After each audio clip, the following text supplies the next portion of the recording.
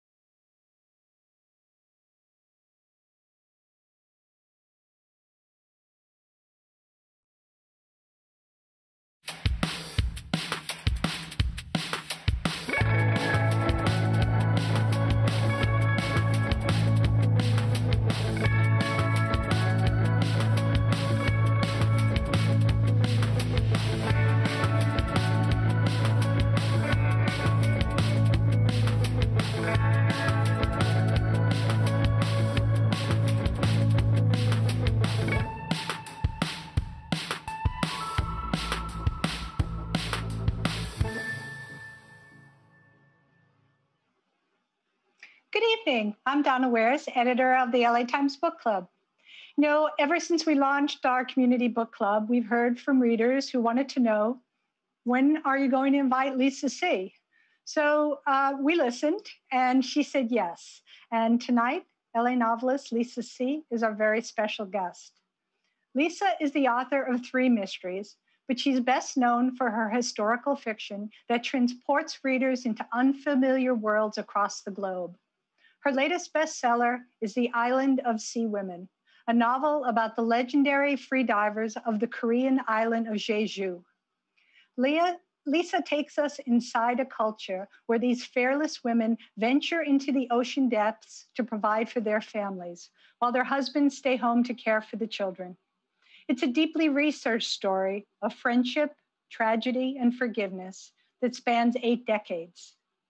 This evening, Lisa will be in conversation with my colleague, Pulitzer Prize winning writer, Mary McNamara. And now I'd like to welcome Lisa and Mary to the Los Angeles Times Virtual Book Club stage. Hi, Mary and Lisa, how are you doing? Great, thank you for having me. And it's so nice to see you, Mary. I know. I've admired you from afar. I, I wish we were doing this in person, but obviously everybody wishes that all the time. Right, that's true. I'm happy we can do this.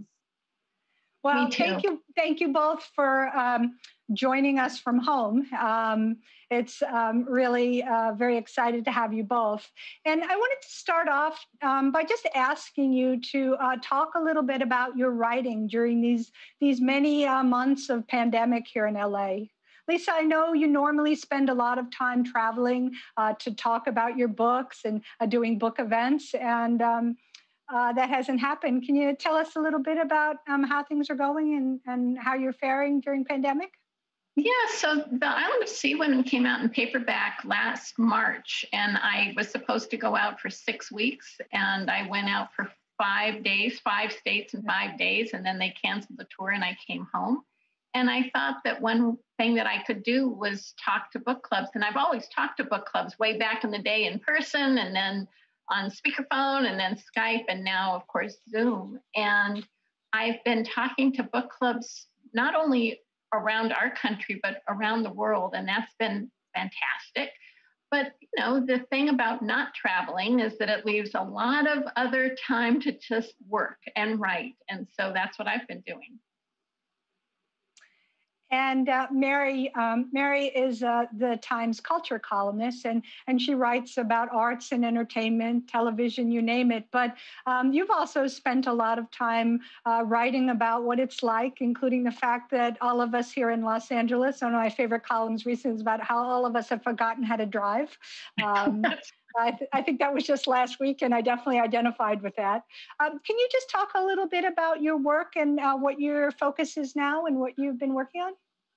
Well, it's been very interesting to be a culture columnist at this particular time when so much of what we think of as culture, um, books notwithstanding, television notwithstanding, has been shut down. And so it really is kind of, you know, this very rare moment where we're experiencing history at, but we're like we're experiencing in a very internal way. And so I've been I've been trying to write about that.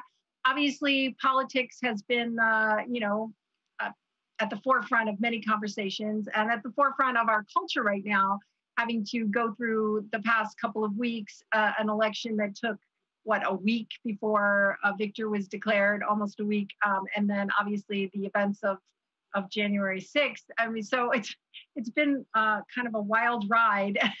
and I wrote the the driving thing was like also I just wanted to write something funny because it's like so sometimes it's a little hard. Although things are looking up now, now that we have our vaccinations and uh, and hope that maybe someday we will get back. But I love that piece, Mary, because it's so true. It's I feel like we've all lost our muscle memory of how to how to drive.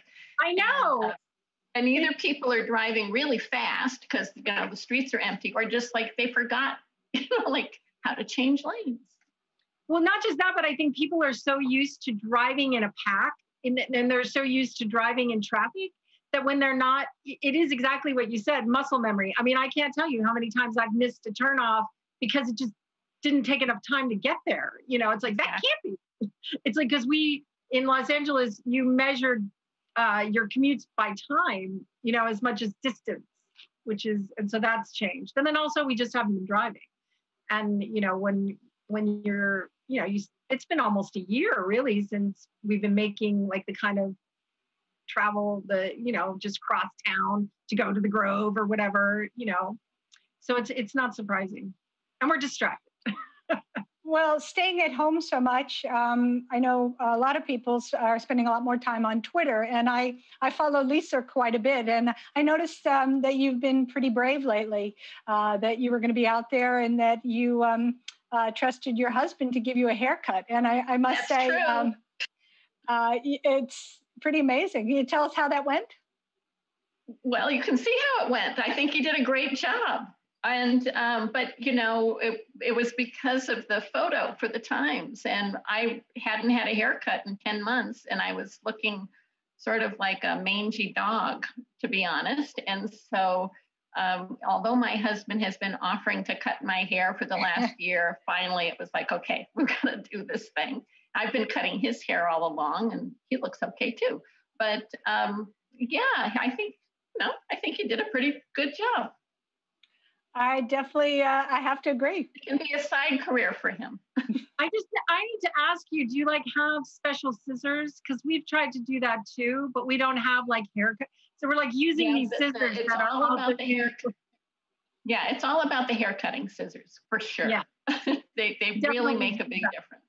And I've even gotten good at the, you know, the the like razor thing that cleans up on men around here. So uh, I don't know what that's called. Oh, well, that sounds great. We haven't we haven't been that brave at our house, but you know, you never know how long this is uh, going to continue.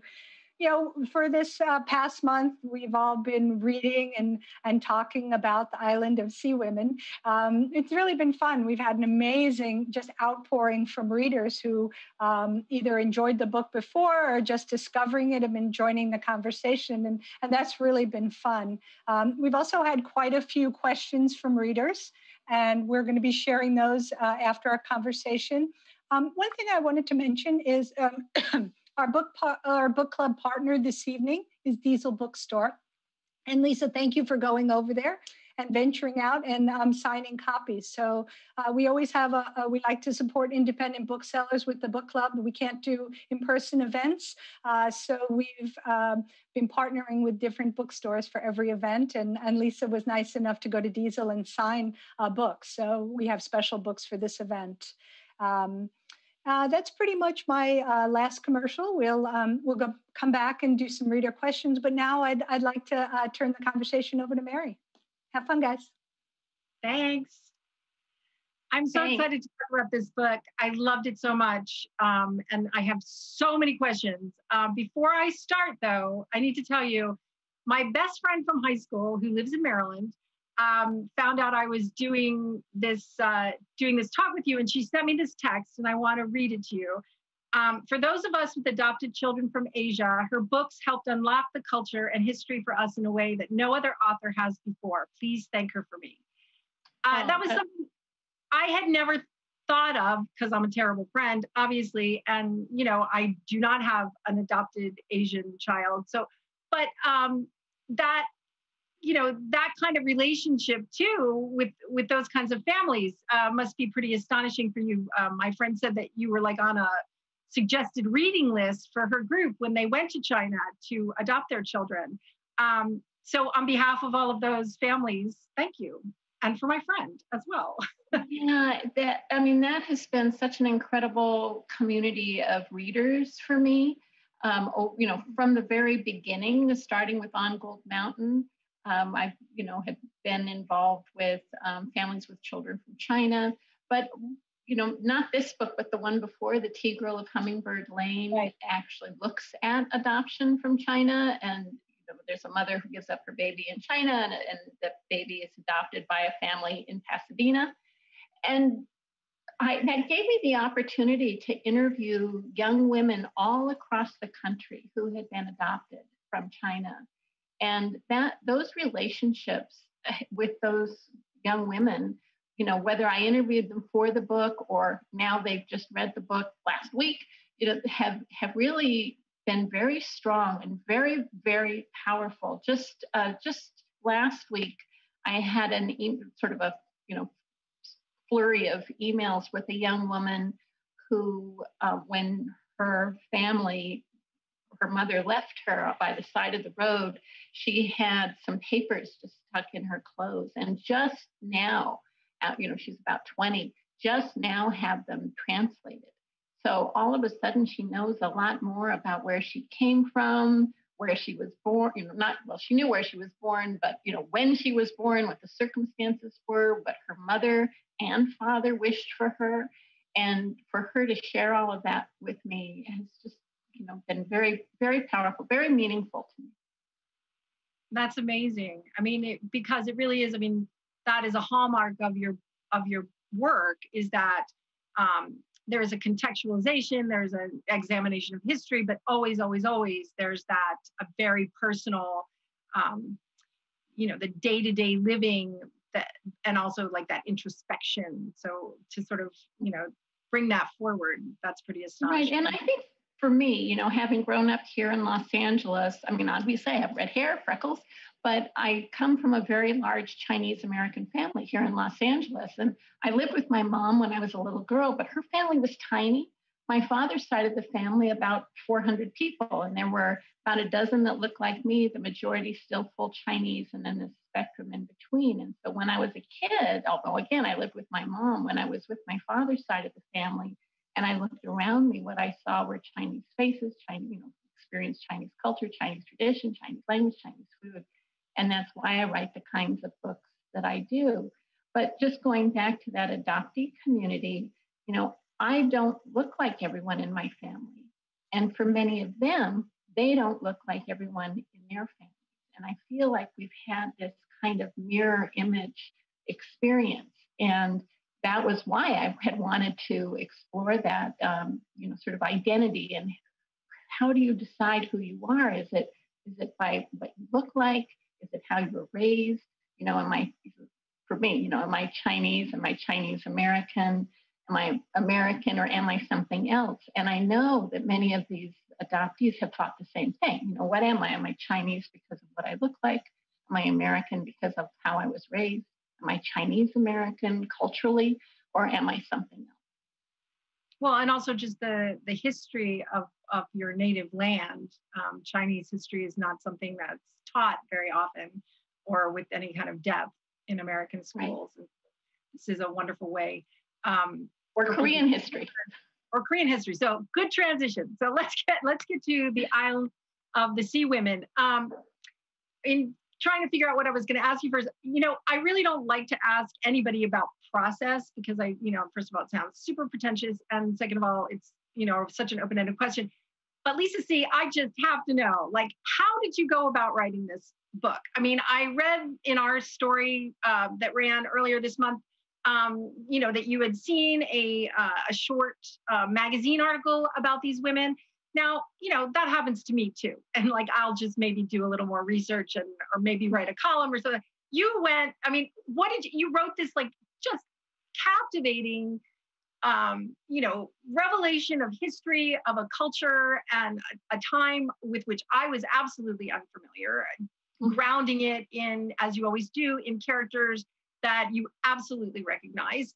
Um, but but I want to know, as as a writer myself, literally, what did you do? You read the article and then you. I so I was in a doctor's office waiting, you know, to be called in like we all is, we've all been there right? And i saw this tiny article it's just one paragraph one small photo and i just ripped it right out of the magazine and brought it home.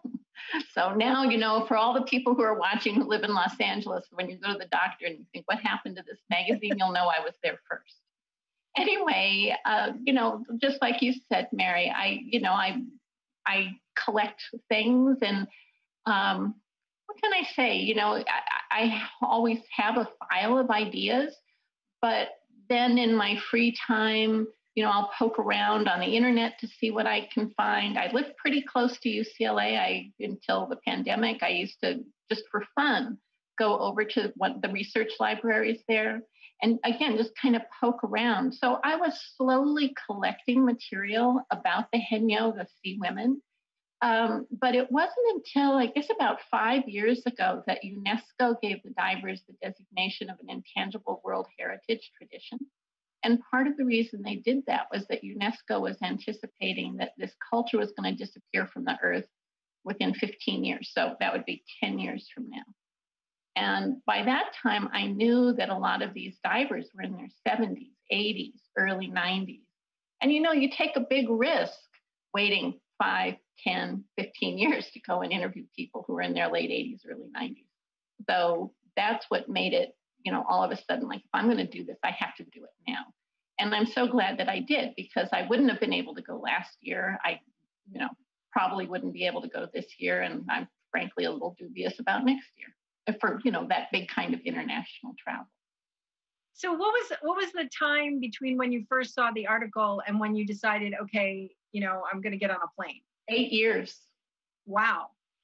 Yeah. Okay, so but, but I think about books for a very long. I mean, until the one that I'm just starting, uh, I typically think about them for a really long time before I decide this is the one. And uh, often for me, it's like, what's my way into the story? Um, or why now? You know, with Island of Sea Women, it was all of a sudden the sort of time pressure of, okay, you know, this culture is going to disappear, I've got to do it now. But sometimes it's really, it's just like, sometimes there are very obvious ways to tell a story, but I just feel like I have to have my way in. And that can take a long time for me, apparently. So, you know, deciding though that you need to do it now is not the same as finding your way in as a writer. So, is this different for you? Did you go start your research process more open ended? Did you have a character in mind?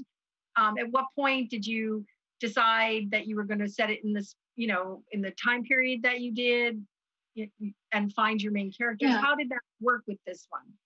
Yeah, so I actually want to talk just about um, Tea Girl of Hummingbird Lane for a second. So I, like I said earlier, I'd been thinking about writing about adoption and the one-child policy for truly 20 years. And um, my husband and I, we were going to the movies in Santa Monica. We were crossing the street, and I saw an older white couple walking with their adopted teenage Chinese daughter between them.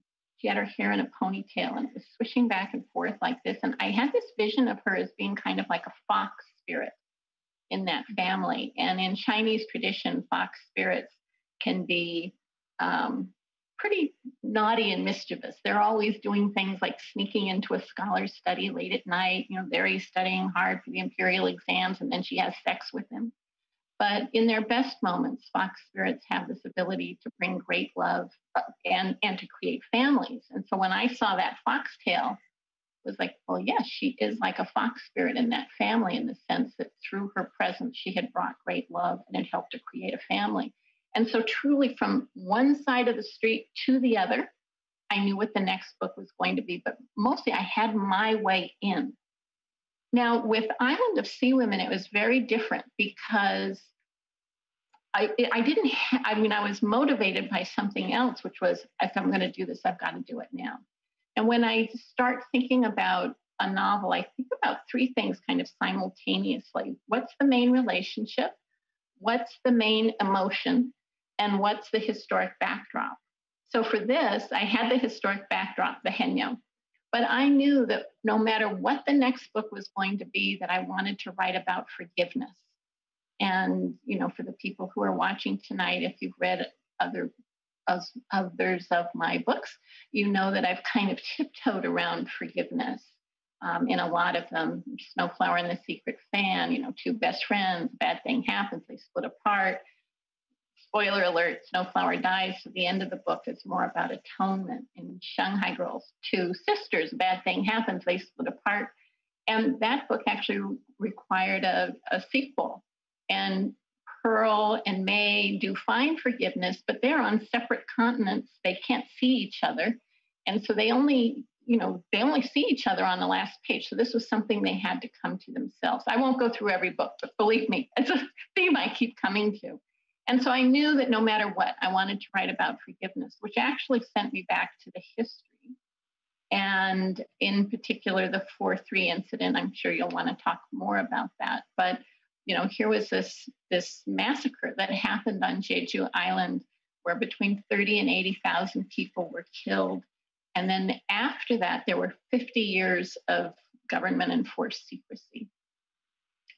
And so um, today, though, this island is recognized internationally as the island of peace. It's a model along with um, South Africa and Rwanda for forgiveness. And so here I had, you know, right in the history, the very emotion that I wanted to write about. Mm-hmm. And you, I'll just say one more thing that, you know, with, with forgiveness, right, it works on so many levels, right? It's one on one, it's within families, it's sometimes with your neighbor, it's societies and cultures, it's countries, and everything in between. And I felt because of the 4 3 incident, I could actually hit, you know, that very personal level of forgiveness within families, within cultures, and then again with you know, more with countries as well. Now I know you did. You went to the island and you did extensive interviews with uh, with the women. Uh, were there any who had survived the four three incident or yes. had families? There were, and so what, yeah, because I was really, you know, I really wanted to find women uh, who were in their late 80s, early 90s, who not only had lived through the 4 3 incident, but actually had memories of the Japanese colonial period. Mm-hmm. So, when you went, did you have your character, your main character, or your main relationship in mind, or did you find them while you were interviewing the women? I can't remember. I may have had them in mind already, um, but I, I honestly don't remember. I can tell you what I thought about for both of them, which is uh, the aphorism: "If you raise red, if you plant red beans, you'll raise red beans." And I, you know, that who you are as a child is who you're going to become as an adult, and how you know, as a child, you can kind of get a stamp on your forehead that sort of sets your your future uh, and so I thought about Young Suk and how she's the daughter of the chief of the collective. So it's kind of expected that one day she'll grow up and take her mother's place. And, and you know, she does. It just happens to be a pretty bumpy road. But it, you know, from that childhood, she's got this pretty positive stamp. And then with Mija, she's the daughter of Japanese collaborators. And so she too has a stamp on her forehead, but it's a pretty negative one. You know, this is somebody who you can't trust and to have that from childhood and how that would affect you from childhood all the way you know through your throughout your life. Um, that's i mean that's a theme that you also examine in in Snow Flower too this idea of being raised by in part by a separate family by having class or caste differences by you know there being these predetermined um, definitions of what the world can expect of you and what you can expect of the world. And that seems to be like a leitmotif throughout your work. Mm-hmm. Um, when uh, I'm sorry, when you went to um, the island, were you familiar with the with the horrible brutality of the of the incident? Because I was not, and I I had already learned about that, and I, you know, you have to be so grateful for journalists, right? Who do, do a lot of work ahead of time so that, that it helps me so much. And so I had been looking at articles in Jeju Island's English language newspaper. And there was one woman in particular who wrote a lot about the Haenyeo. And it turned out, you know, and I was able, you know, how that you have this, Mary, you know, at the end of your article that has your email address. And this also had her email address, and Hilty. And so I wrote to her, and she was so unbelievably helpful to me.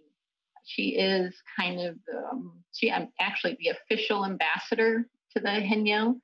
And so she arranged for me to meet different scholars and people at the Oceanographic Institute. And uh, she took me to meet the head shaman of the island, the top woman shaman. And of course, not, not all of the interviews that I did with the divers, but many of them. But the other thing that she did was before I went, she was just sending me just tremendous amounts of material, including the human rights report that had been done on the 4 3 incident. And this um, human rights report is the longest ongoing human rights report in the world to this day. It's on, it's still ongoing. And when I had it, it was already 755 pages long. And because it was an international, is an international project, they had access to Korean government and military records, US government and military records, but they also interviewed people on all sides of the conflict. So most of the report are these first person um, stories of what people went through or you know what they did because again it's from all sides of, of what happened. I ask you that because um, one of the things that strikes me about your the voice of your main character here and also in some of your other books is there's I, i've been trying to think of what the right word is. I, it's like detachment but it's not detached there's a calmness of the it's like a chronicling i mean you feel the person you feel the person emotionally but you don't get sidetracked into huge spirals of anger or depression or love or it's a very controlled you're, she's a very controlled narrator and the way that she describes that incident which is so horrifying and which you had to know um, many of your readers would be coming to for the first time. I just wondered if, like, your choice of how much did the knowledge that you were going to have to describe this horrifying, you know, uh, massacre and all the violence that preceded it and followed it, how much did that contribute to, like, sort of finding the voice of your main character, whose yeah. name I mispronounced? Well, hmm, I, I, think I have to put a couple of different things into this. So um, I I don't know if detached is actually the right word because what I'm trying to do is just be in the room with whoever the narrator is, you know, the main character. And so uh, I remember this with Snow Flower and the Secret Fan. And uh, one of the early, early readers, uh, one of the young woman in my agent's office who read it and said, You have to be more critical about foot binding. So, uh, no, I don't have to be critical. I just want to be in the room. And if you read that, you're, you're not going to come away saying, foot binding, what a great idea. You know, that, that if you can just be there. And, and I actually think this time we're living through right now, it, there's so much hardship and so much fear actually you know am i going to get the virus? If i get the virus what's going to happen? If some you know is my dad going to get it? Is my father-in-law i mean you know there's just so much anxiety and fear around it. And yet we are all going forward and living our lives. And so i you know i think in 50 years from now, people might read about this time period and think, how could people have been so calm about it? You know, how could they have just gone on with their lives? But that's what happens in history. You know, people have to, you, you can't just like go in your room and put covers over your head. You have to keep moving forward. You have to feed the kids. You have to educate the kids. You have to um, make sure the family is feels safe and and all of those things that keep family and culture going that all happens even in wartime even in a pandemic even if you're getting your feet bound and so that's i so i just look at it that way is i just want to be in the room and then with Young Suk herself i i can't say that she's you know completely based on one woman but there was one person who there was one aspect to her personality that really, I think, kind of infused Young Suk. So um, there were lots of different ways that I interviewed the divers. Some of the interviews were you know, really in depth in a woman's home, two to eight hours. Then I would also go to where women were going into the sea and coming out of the sea. And those, just by their nature, were short, you know, because you're kind of grabbing people. Can I talk to you for a couple of minutes? And then the last group were these women who uh, sit on the shore and they gather and sort the seaweed and algae that's washed ashore overnight.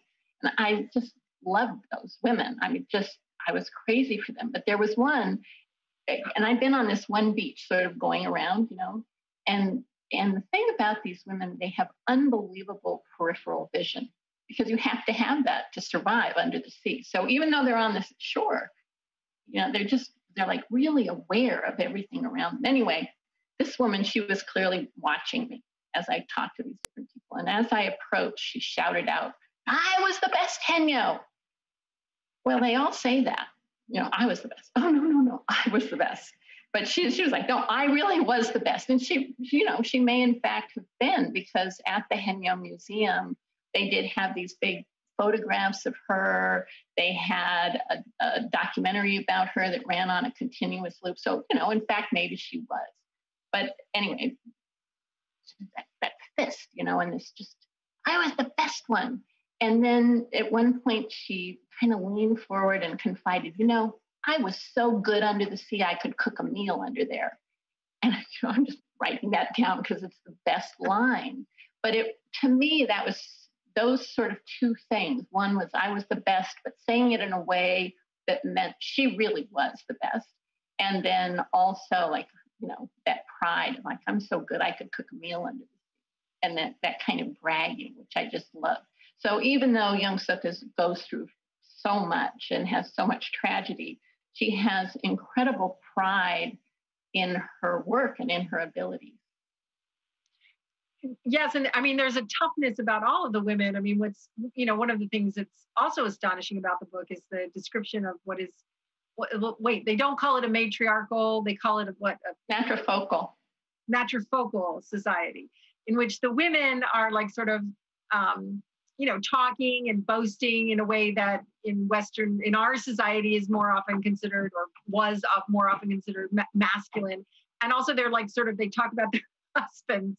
You know, it's like, well, what are they good for? But just sitting under the tree with the kids and drinking all my wages, which is really interesting and is that i mean did you experience that in in talking to the women because one of the things that i did want to ask you about your research is you make a big point um, and we'll talk about this in a larger aspect about the you know many of the women were illiterate so there is i'm assuming like not a ton of journals not a ton of like you know uh, source material beyond interviews is that correct or were there well they haven't you know they haven't produced it because, right. like you said, they are illiterates. But there's, um, you know, I, I did find about 20 different scientific studies that have been done on them, you know, for a lot of different things. You know, they have this have this reputation of having the greatest ability of any human group on Earth to withstand cold water. Um, but they, the other studies that have looked at their ears, have looked at their hips. Of one study was, and this is true, uh, was looking to see if these women were somehow genetically connected to the Weddell seal. And, you know, those people got money for that study. I could have told them they probably were not related to seals. So the, the, the ways I get material, you know, are just from a lot of different sources and a lot of different ways to kind of look look at them, but nothing that they've written themselves. And so, um, you know, almost everything came from, um, there was one, dis- well, just things that other people have written, particularly about this, the scientific stuff.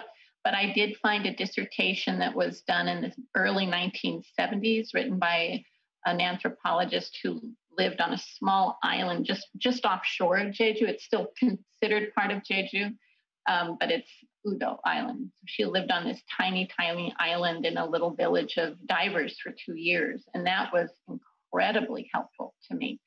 Um, and then what else? You know, just there, I found a documentary that was done in the late 50s, I think, in black and white that follows a little girl who's learning how to dive.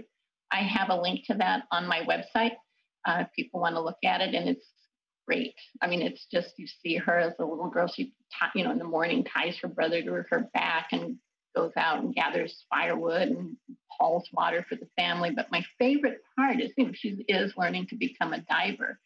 And there's this one scene where five little girls, and she's one of them, have come out of the water, and they're sitting on a bench on the on the boat, and it's very windy there, and it's very cold there, and they've come out of this cold weather water. They have their little homemade, you know, bathing suit, and the five little girls are just, you know, just sitting there shivering, and they're just learning how to how to take the cold.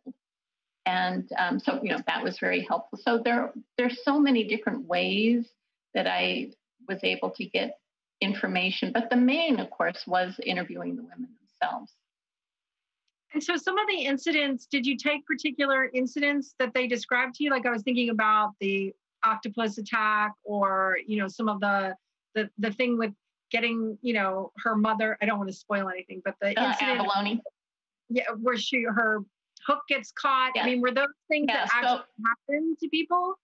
So I just have to say, I know that the octopus is a very evolved creature, and you know there are all those wonderful books and the documentary about how great they are, but they really scare me.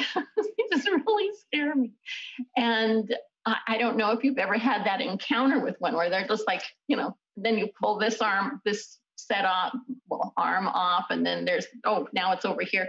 And so that really was something that I, that scene that I just took my great fear and went with it. But after the book came out, there is a, um, he's an Italian photographer who works for National Geographic, and he's, he has taken a lot of photos of these women. And there was one photo that I guess after he read the book, he sent it to me and it was just like my nightmare. You know, this gigantic, this small woman with this gigantic octopus, and I just thought, you know, yeah, that could happen. And then with the abalone, you know, harvesting abalone was and still is one of the main ways that women die. And so I just, but I, I just, I don't remember where I was when I first saw that, you know, but I'm like, you know, doing research and I saw that and I was just like death by abalone. We're gonna have to have that. You know, and it's just like, ooh. And I know a lot of people have have helped people help them with research, but I that's my favorite part. And I never know what I'm gonna find. It's like this big treasure hunt. And so, you know, for me, it's like oh, death by abalone. And then it's a matter of well, where does that come in the story? Beginning, the middle, and the end. It, it, what's the re why is it there what are the ripple effects how do you i mean again i hate asking about process but with stories like this where um, you are not like you know a, natural expert in this you became an expert to write this book. So you are learning as you are thinking about a novel which is different than you know something that you are very familiar with and then you decide to use in a novel. So my so do you like assemble all of your research and then you know just sort of sit with it and then find the story? Or do you have the story and then find the research like you were talking about we need the mom to die what would be a good way for that to happen yeah so i actually think about it almost like signposts um, there's certain signposts i can't move you know that are just historical the uh, the bombing of Hiroshima. I can't change that date. The 4 3 incident. I not only can I not change that date, it's in the name of it, 4 3, April 3rd. So those are kind of like permanent signposts. And then there are the things that I find like harvesting an abalone and, and death by abalone. Well, I can put that anywhere. It's a movable signpost. And then there are the signposts that really have to do with story. So here you have a friendship. Well, these two little girls have to meet um, there, I knew that I wanted them to do itinerant work and go to Vladivostok in winter because I just thought that stuff was amazing. Uh, I knew that you know that at some point they're going to get married. Well, people are, tip, especially in a time when people didn't have birth control, are going to have babies. It takes about nine months to have a baby. So those those also are signposts, and some of those, that stuff is kind of movable, but some of it isn't. And so when I sit down to write, um, I know where I'm going, but I don't know how I'm going to get there. That's what happens in the in the actual writing that day. So did these women actually give birth in the sea? I need to know that because some did, yes. And like that while they were- was one of the things when I would once interviewing women. You know, one of the I'm, I am a woman. I write about women. I bet a lot of the people watching tonight are women, and we do have our unique biology, right? So I have not shied away over the years from asking, you know, what happens when you get your period? How do you take care of yourself? When you're pregnant, are there foods you're allowed to eat, not allowed to eat, things you're allowed to do, not allowed to do? What are the traditions around childbirth? And anyway, with, with this, one of the things I asked was, what did you wish for when you were pregnant? And I've asked this of a lot of women over the years. And typically the answer is, I just wanted my baby to be born healthy. But these women, not every single one, but almost all of them said, I only wished for one thing, and that was to have my baby in the field. And in the field meant in the water while she was diving. And, you know, if she couldn't do that, she'd get up on the boat for the last couple of hours of labor, have her baby on the deck, and then be back in the water two days later. That is you know, there is a tradition of people, you know, even now, people. no, absolutely in in a bathtub or- bathtub, in a, not down, you know, a thousand. No, not that far down. I don't think they were going way down. they weren't having their babies 60 feet under the water. while they were like scraping the abalone up. But um, yeah, that was pretty. Um, but again, it, it's sort of the testament to not just the relationship between the natural world and the people, but also uh, just the general toughness of these women, which was you know just sort of extraordinary.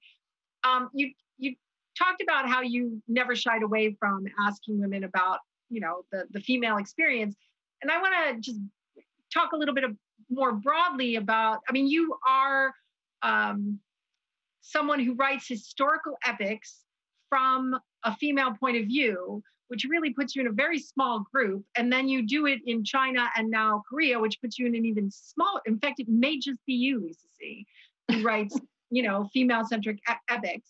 Um, and again, you know, we're all for two things. First of all, we're just now entering a time where um, daily life is even considered history at all. Where you know, once upon a time, history was wars and kings and um, boundaries and all of those things. Now, you know, we do have a more um, universal look at you know daily life. What what is daily life? What is the position of women? What are the position of the elderly in uh, in uh, in a society? I mean, my kids are learning that in school, which I certainly did not.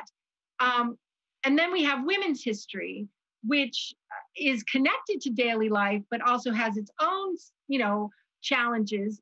Some of which is illiteracy, some of which is they, you know, maybe they could write, but they weren't allowed to, or they didn't have the resources to. So you have to fill in so many gaps. And that seems to be a lot of what you do. And do you see that as like part of your um, mandate as a writer? Is that something that moves you as a writer? I mean, obviously, you're telling stories about specific characters with themes that you want to explore, but there's also just this you're almost, you know, you're being of service to all of these people who have uh, been left out of history. Yeah, I mean, I do think a lot about that. And I think about how we've traditionally learned history, which I think of as being like the front line of history the wars, the dates, the generals, the presidents, the prime ministers. Uh, but if you, you know, battles, but if you take one step back, who's there? It's women, it's children, it's families. And they're there for every single step of the way. But those aren't the stories that have been told. But and yet they're there. And I, you know, I already sort of alluded to this earlier. It's women who really keep the culture and society together. They're the ones, again, who are keeping the family together, who are feeding the family, who are making sure, I mean, we're certainly seeing this now in the pandemic, you know, women working, but also watching their kids, you know, virtually learn, trying to make sure that keeps happening. Plus, I don't know about in, you know, other households, but I know in this household who's going out to the grocery store. And so I feel like anytime, you know, I go to the grocery store, I'm putting my life on the line. So, um, you know, that I think it's going to be really interesting, you know, 20, 30 years from now to look back at this time period and to look at what what happened in families and how people got got through this time. And that's so I, I do think a lot of the burden of this time has fallen on women.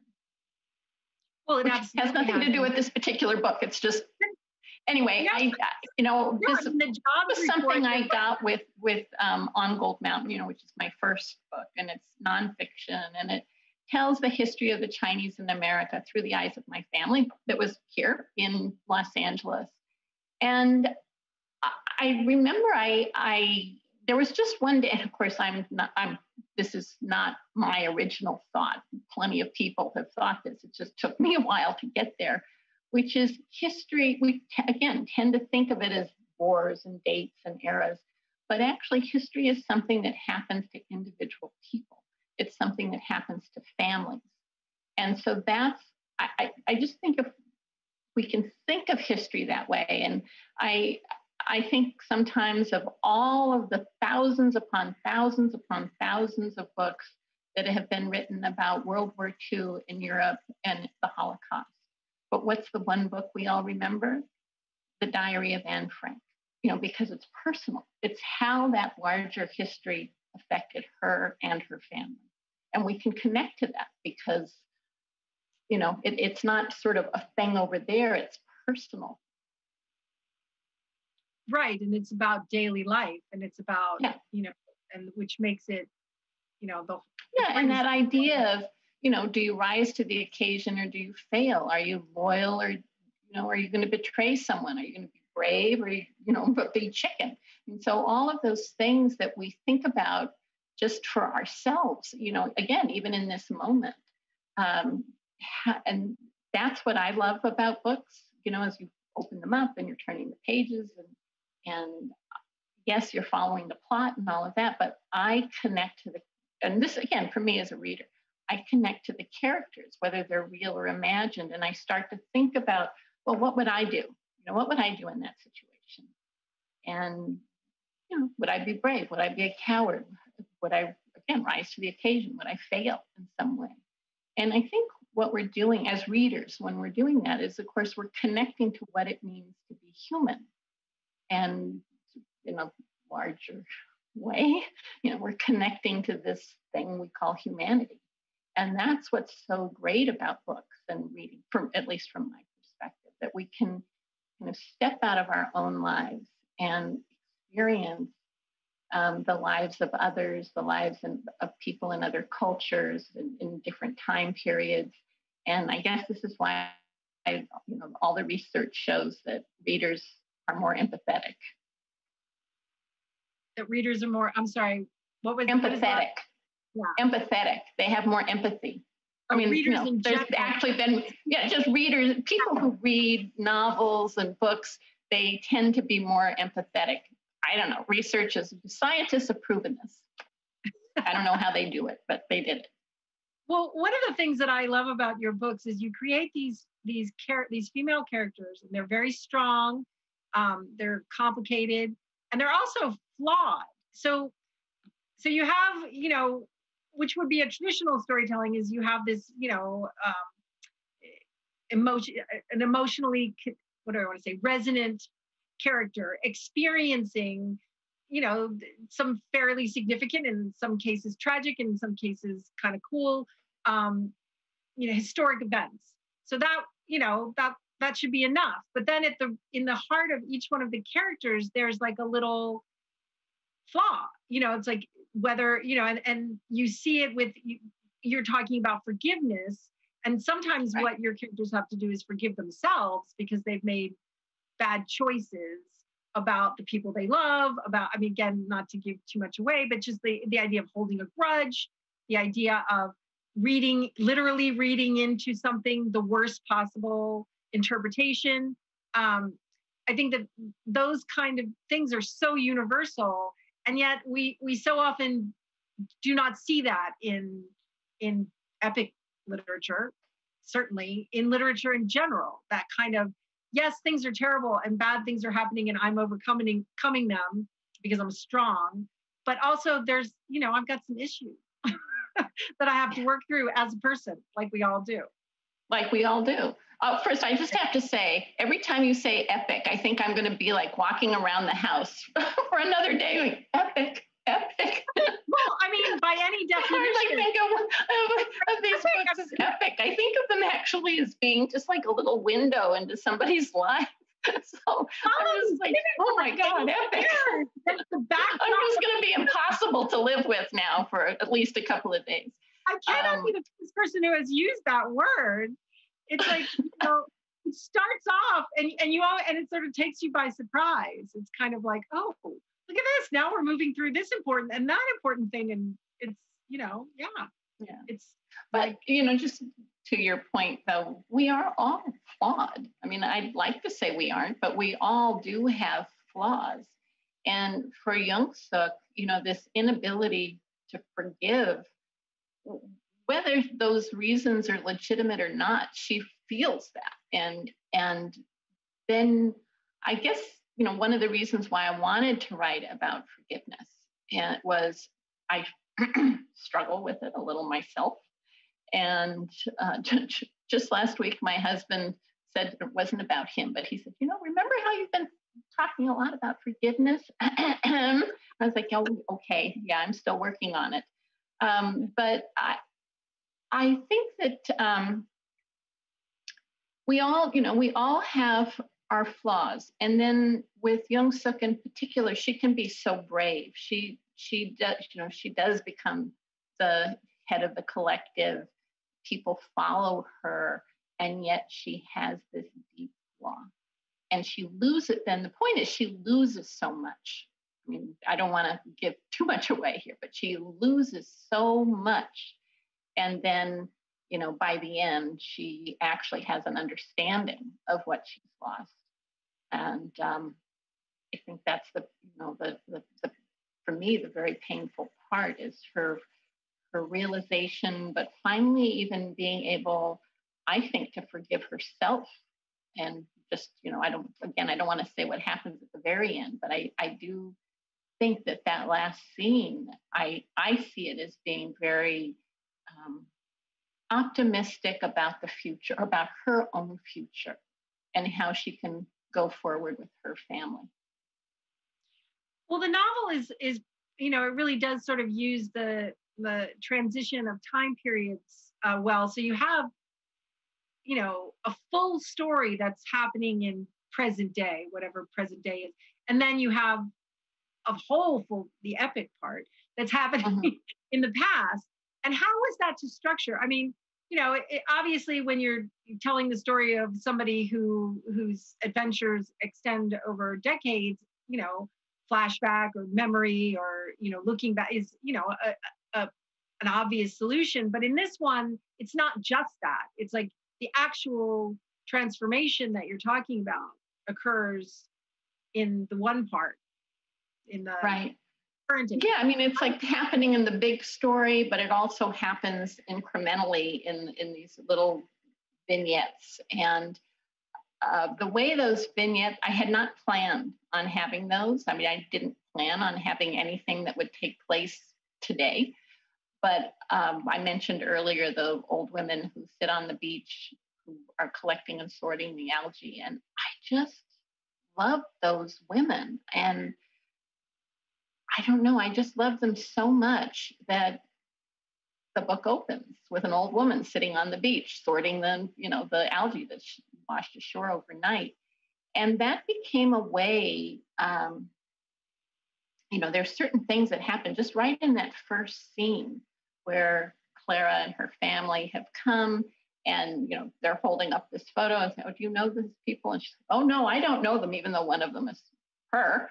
And she's like, oh, no, I don't know them. And, and I'll just say one of the things that happened I won't say every single time, but I maybe like eight out of 10 times with these women on the beach was there would come a moment in real life, you know, where, where the woman would say to the, I, well, for that set of interviews, I had a young woman who was a college student who was doing the translation. And they would say to her, Oh, could you hold your cell phone next to my ear?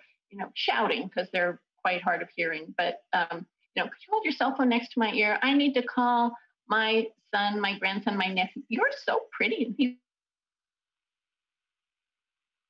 looking for a wife.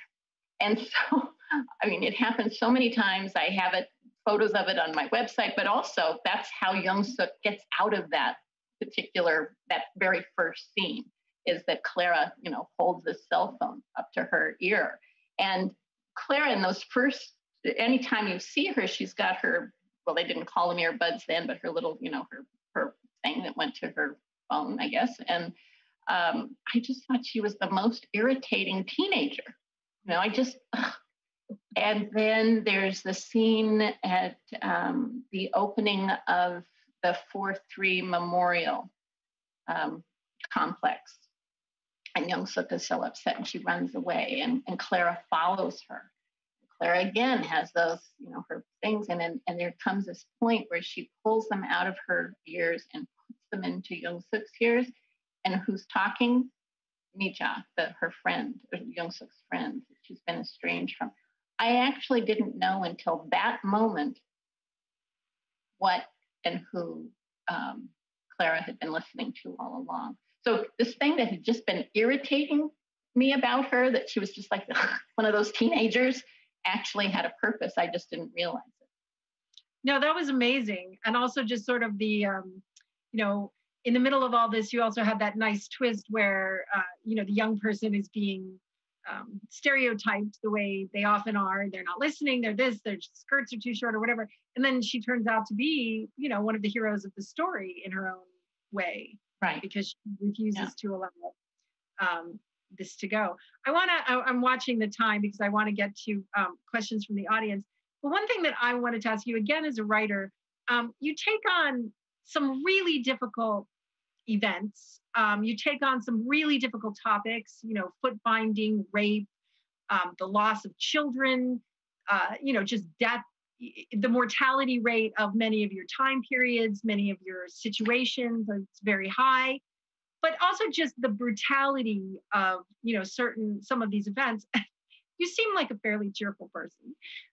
And I'm just curious, how do you keep how do you capture the importance and the horror and the significance of these things and the impact that it has on not just your characters but on generations because you see you know it sort of goes up and like not go crazy i mean how do you uh, you know immerse yourself in these moments and not lose yourself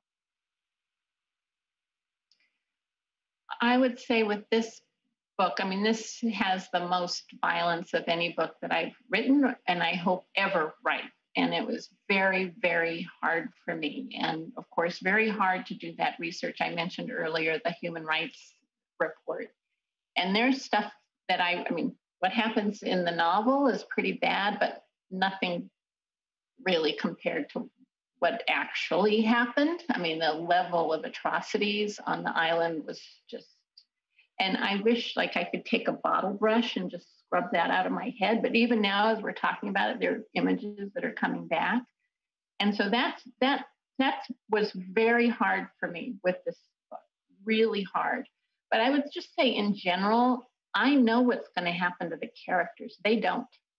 And so I would say starting about three months out from the terrible thing that's coming, I just start to worry about them. And, and sometimes I'm trying to figure out how to get them out of it. I remember with um, Shanghai Girls, there's a character, Sam, who commits suicide. And I loved him. I just loved him. He's one of my favorite characters ever.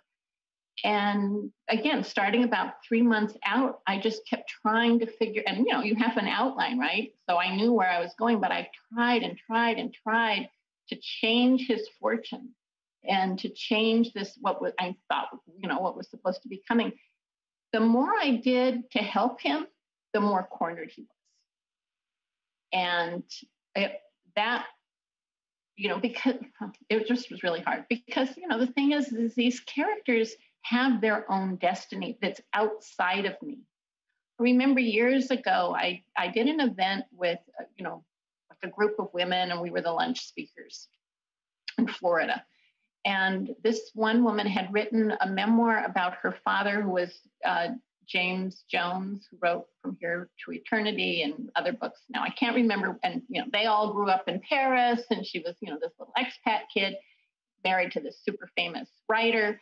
And I can't remember the book exactly, and I can't remember the name of the character, but you know, there was a private, we'll call him Private Smith, and he had been injured and he had developed gangrene. And so he was going to die. And every day, his dad, the dad, Jim Jones, would come down the stairs out of his office and say, I'm going to die. It's just terrible. I feel so bad. And the kids would say to him, But dad, you're the writer. You know, you're the writer. And he was like, No, he has his own, know, he has his own destiny that's outside of me. And then one day he opened the door and was like, he's gonna live, he's gonna live. And the family broke out the champagne and it was this moment of great joy. But when she told that story, I completely understood it because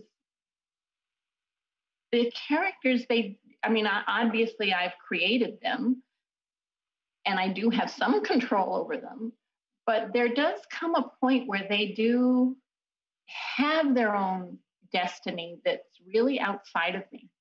And I'm just there to help them get through it. Mm-hmm. But the the sad stuff and the violent stuff is really hard. And so again, like I said earlier, I just try to be in the room with them, you know, and not not put myself into the story or not how I feel, but just if I can be there and just be there with them as this as this terrible thing that I've created is going to happen to them. Yeah, I guess that when it, early on when I used the word detached and I knew it wasn't the right word, there is like that sort of a chronicler, which is you know that sort of a clear-eyedness about everything. Um, well, I'm looking at the time, and I know that it's time for me to go. Um, throw it open to the Q and A's, but let me just ask you real quick as a final question: What um, are you working on now? So I earlier I said how I think about things for a really long time. uh, about two months ago, I was just sort of walking by my bookshelves behind me, and a spine of a book caught my eye, reproducing women, um, something, something, something in the Ming Dynasty. And I just thought, well, I'm in the middle of a pandemic, and I've had that book on my shelf for 20 years. I think I'm going to pull it down. And I got to page 19, and there was a mention of a woman who was not the first female doctor in China, but she was the first one to write a book, uh, in which was published in 1510. And she's just this remarkable person. Her remedies are still used today, and uh, she had quite quite a life. And you know, uh, just I'm so anyway instead of thinking for 20 years, this one was like 20 minutes. Wow. and I'm just now deep into it and I'm having so much fun and finding just really incredible material, but also people are, can be so helpful.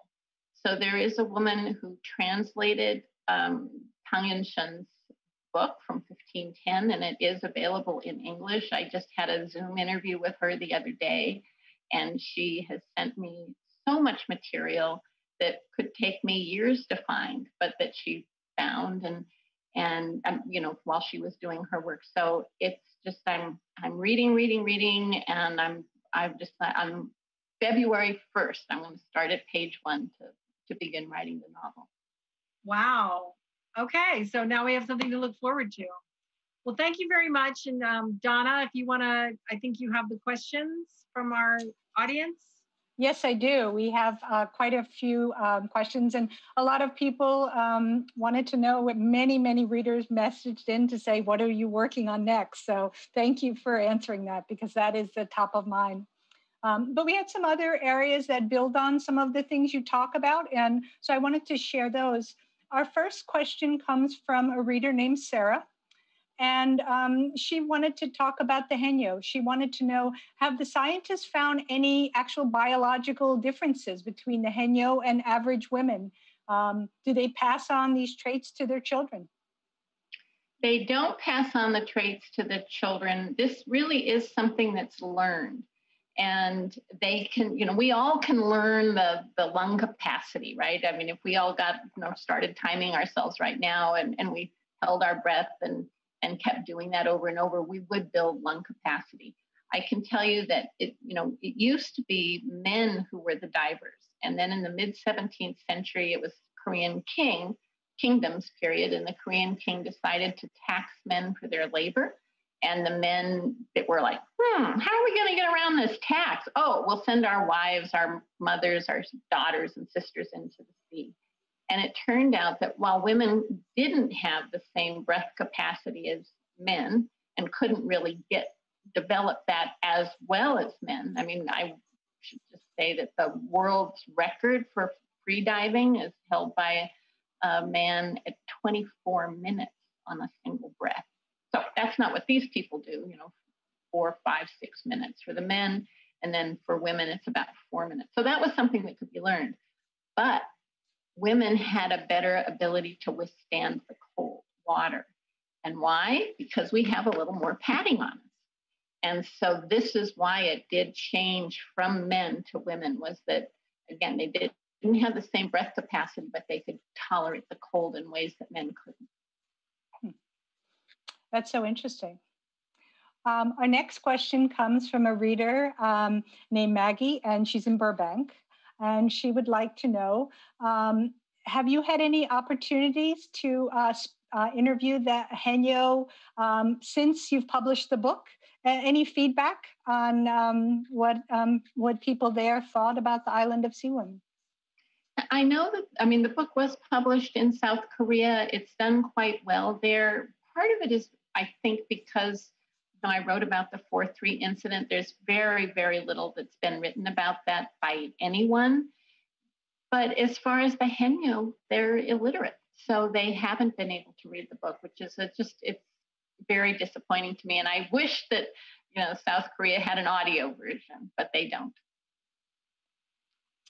Uh, our next question comes from a reader named Marcy, and she wanted to ask about On Gold Mountain. Um, and her question is Is there any one person or event in your family history that really surprised you? And she says, Thank you and keep on writing. A lot of the questions came in with thank you. So uh, that was just one person uh, who uh, included that. But uh, any uh, in your rich family, any one story that surprised you? I think for me, uh, the, the part that really surprised me the most was right at the very, very beginning when I first started interviewing my great aunt. I think it was our second interview. She mentioned in passing a kidnapping. I had never heard of it. My cousin had never heard of it. And it took another two years to get that story. And so I, I, I think for me, the way that a terrible event can happen in a family uh, and how how that has a ripple effect, but also how we keep secrets and why we would keep something like that a secret, and then again, sort of what the ripple effect of a secret like that can be. And so that certainly, I mean, I just remember that day when she said, "Oh, you know, blah, blah, blah, kidnapping." I was like, "What?" You know, just had not once heard about it, and I feel like in many ways, just finding that story and how I dealt with that story, the real life story, is has really helped me with all of my writing. So you started, Again, you know, uh, how you how you have secrets, how you hold on to them, why you hold on to them, what happens when they're revealed. So that was your very first book. And at the time you had, um, I know Mary had talked about answering this, but I have to jump in. You had a, a pretty famous mother uh, here in Los Angeles writing books. Um, mm-hmm. What was it like um, when you're um, Carolyn See's daughter and you're publishing your uh, very first book? Um, was that uh, challenging following those footsteps? So actually, On Gold Mountain technically isn't my first book. My mother and John Espey was my mom's longtime companion. Uh, the three of us wrote three books together under the pseudonym of Monica Highland for the intersection of Santa Monica and Highland. And we, you know, my mom, I think, really was my biggest supporter. Um, she helped me so much. I feel like it, and my mother's mother, father was a writer too. So I, you know, three generations of writers. And I feel like I had a lifelong apprenticeship, just living around people who were writing from you know, my earliest age. sometimes I joke around like, you know, the good thing they weren't plumbers, but on the other hand, why couldn't they have been brain surgeons? oh, that's great. Um, uh, our next question comes from uh, Susan. Um, and um, who had mentioned that she really enjoyed uh, the Tea Girl of Hummingbird Lane. She says, I read your other book about tea and loved it too. Uh, I'm the adoptive mother of a Korean daughter. Uh, she recently found her birth mom. And do you have personal experience in, with adoption in your own family? Well, I think all of us do if you're old enough, um, because again, there was a time when we didn't have birth control and young women got pregnant and, you know, more maybe than they do now and and didn't have the same kinds of options that they have today or not the openness of the culture for a young woman to have a baby on her own. And so like many families you know i i have a my what would you be step grandmother who grew up believing that her that the woman who turned out that the woman she thought was her mother was actually her aunt and the person she thought was her aunt was actually her mother and I have other examples in my family of things like that. And I, I think we all, you know, we all do. Be- again, because of what the stigma was in the past. And um, earlier, when I was talking about just even how I grew up and, and feeling, you know, I, I don't look like everybody else. And what does that mean? And that had made me think about these young women who've been adopted from China or Korea or other parts of the world and and when they don't look like their families. And you know, it's one thing to live in a city like Los Angeles where we have so much diversity. We have so many places that you could take a child if, if let's say you've adopted from China. So many different things you can do. So many classes that they could be in. So many things, you know, that there's just all this stuff, but I also have thought a lot about well, what if you were adopted by a family somewhere in the middle of the country where you might be the only Chinese face in your family, in your class, in your school, at the church, at the synagogue, at the county fair. And that that really is something that has propelled my my interest in adoption, uh, just from you know like my own perspective. Great, uh, thank you. Um, Trish, a reader would like to know which book is your favorite? Oh, that's like asking child? which one is my favorite child. And, and everybody who's a mom out there knows the answer. It depends on the day. that's true. Uh, and so this is our final question. Comes from Ron, um, a reader in Spokane. Um, and he would like to know Do you think that Jeju's uh, matrifocal culture is unique? Well, uh, uh, yes and no. I mean, there are other matrifocal cultures and also matriarchal cultures uh, around the world. But the way that this culture developed and the way and the what these women do, I think, does make them really unique. You ha- do have the ama, the pearl divers in Japan. The the Haenyeo taught the ama, and I, they don't have that same kind of matrifocal uh, aspect to their culture. So this is unique, and, and it is unique. Real, I mean, there are there is the um, a matri- matriarchy in China, the Mosuo people, um, but to find cultures where it really is focused on women, centered on women, uh, it is unique, and it's you know again unique not only in Asia but in the world. But you know, if we, if we go travel through time and across the globe, you do find other cultures that have this here and there. So uh, I don't know about you, but um, with less commuting, being at home more, I'm I'm reading a lot more. I'm listening to a lot more audiobooks, um, and and I'm just curious. Um, I want to ask this. I'll start with Mary, and then I, would like to ask this to Lisa too. Um, you both are uh, avid avid readers. Um, what's the last book uh, that you just couldn't put down that that really kept you up and and held you captive, Mary? I thought you were just going to ask what we're reading now. So now I have to think. Um, well, I've been reading a lot of Lisa See, so I'll go with that because I, it's it's a it's a large oeuvre, and I had not uh, I had not read all of that. So um, that's what I've been reading, and and I have to say, there's a I know it is an epic because there's like this. It's a page turn. You just want to see what happens next. It's amazing. Um, and also the Amelia Peabody series. I always read them when I want to feel better because they're wonderful. Thank you. I'd say Lisa? the book that I read most recently that was a real page turner for me was the most recent uh, Michael Con- not the one that just came out, but the just the one six months ago by Michael Connelly.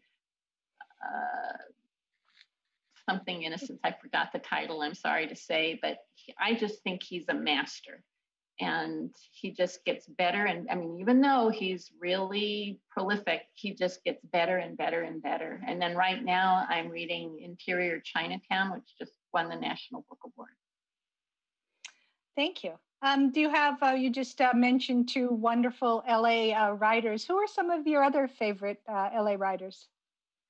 well of course my mom it'd be terrible if i didn't say oh, my mom's books um, my favorites of hers are Making History in Golden Days, but I, I would say Nina Revoyr, Steph Cha, Lynell George, um, who else?